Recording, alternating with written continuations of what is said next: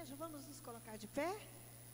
Vamos adorar ao Senhor todos juntos, num só espírito, num só coração, numa só fé. Aleluia, exaltando o Rei da Glória. Ele está aqui, ele está presente para receber a adoração da igreja. Aleluia.